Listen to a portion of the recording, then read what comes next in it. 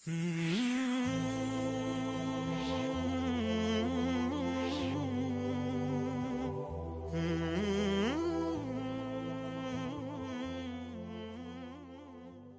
لله رب العالمين والصلاة والسلام على رسول الله الأمين وعلى آله وصحبه ومن والاه. إن شاء الله نكي إن حلقة نين لغران دلغاتا صلاة لي غابي نوغن. صلاة آه ورنغن آه معنا الصلاة أكان صلاة آه إن شاء الله نكان الغابي نوغن آه الحمد لله رب العالمين. صلاة الركن الثاني بعد الشهادتين وهي آكد شعائر الإسلام وآكد فرائد الإسلام وآكد أركان الإسلام. يعني أكسرري استرري خلافاني قديبا آه صنعت آه شهادة ذنبي صلاة جن أشهد لا إله إلا الله أن محمد رسول الله وإقام الصلاة.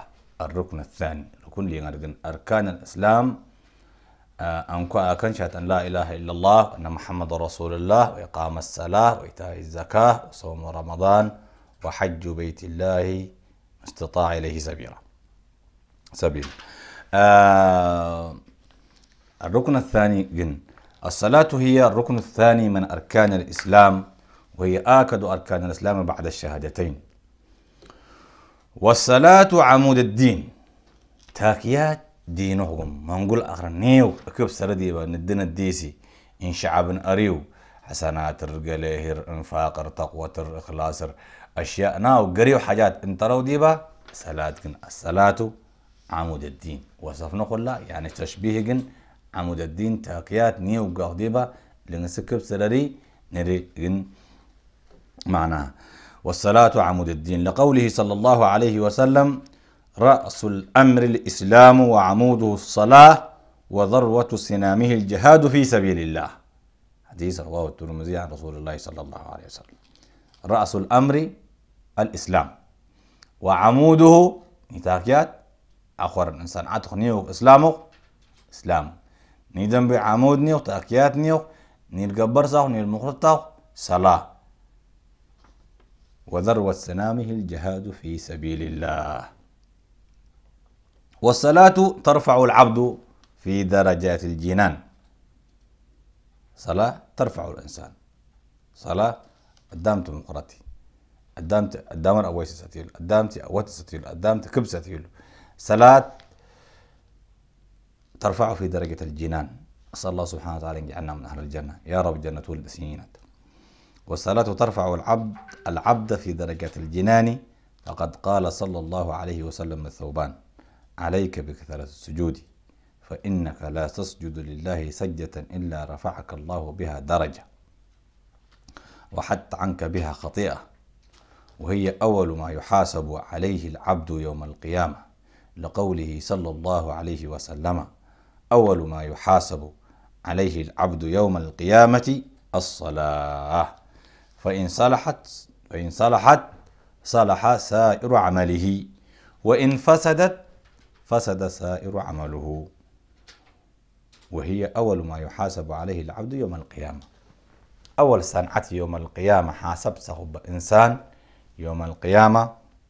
إنسان كرو دنبي ربلو من برترغو قيامة انت سنك ناو كان أحياء قوانا فلد حساب لي محشر لي جزاء قرقة آه ثواب قرقة عقاب قرقة آه حساب قرقة. يوم القيامة أول حاجة حساب أنت رخدي بحاسب سخدي بقدام صلاة قن عشان كده سلاتينا حافظنا دي بو. سلاتينا وكل صلي سنول سلاتينا وهبني إيه السشاك نكون هم الستة بدنا نكون وهبني حافظنا ينا صلاة لنا أوقات لي دوك سجني وكسير نر الركوع دي نر السجود دي نر السجود دي نر خشوع دي اطمئنان دي نادق ديزي نين إن شاء الله الدنيا نفع كنا آخر نفع كنا. نصبت ند لابد صلاتنا أخرى حافظنا شهر إنسان سليسا إن شاء الله بإذن الله عز وجل خيرهم بقديبو كذا خير لكن مهما كان إسلاما صليت صلاة آه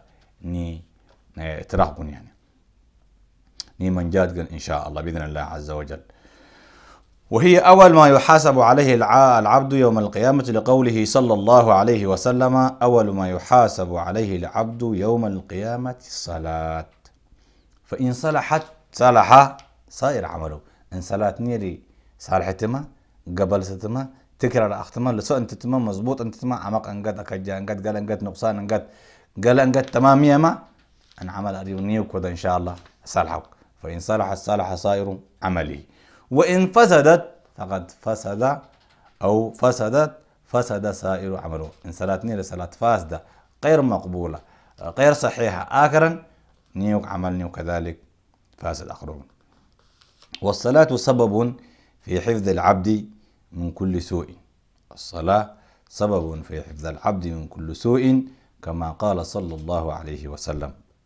من صلى الصبح فهو في ذمة الله فانظر يا ابن آدم لا يطلبنك الله في ذمته بشيء.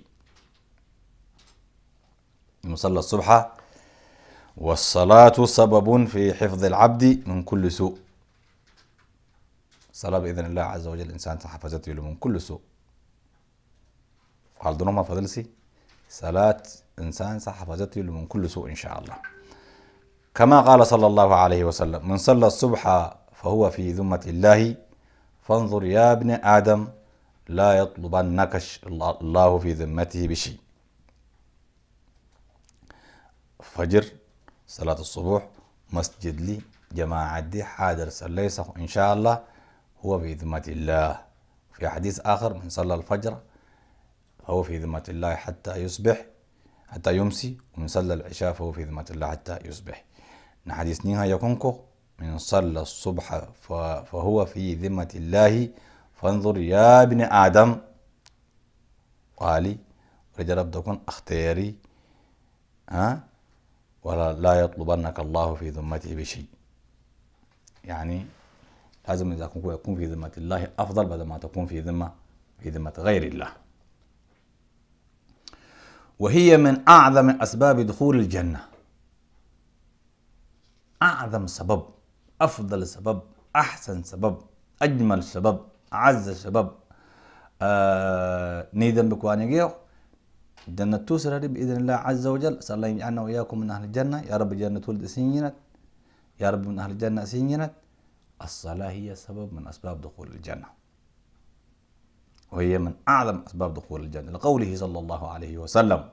نيجا حديث بقدي قلنا قابنين حديث النبي صلى الله عليه وسلم من صلى البردين دخل الجنة. النبي صلى الله عليه وسلم بس في كلمتين. النبي صلى الله عليه وسلم ينقو من صلى البردين من صلى البردين دخل الجنة. متفق عليه. والبردان الصبح والعصر. صلاة العصر دي الصبح دي العصر دي الفجر دي سليسخ إن شاء الله يدخل الجنة يقول النبي صلى الله عليه وسلم في وقتها في جماعة بإطمئنان وخشوع بأدائها إن شاء الله عز وجل مع الإيمان الخالص مع المتابعة مع الإخلاص لله عز وجل بإذن الله الله سبحانه وتعالى يدخل الجنة. أن حديث نين حديث متفق عليه الإمام البخاري ومسلم رويناه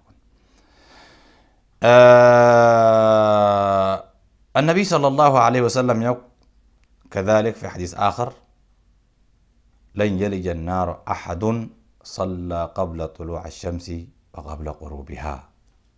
وكذلك والصلاة من أعظم أسباب النجاة من النار لقوله صلى الله عليه وسلم.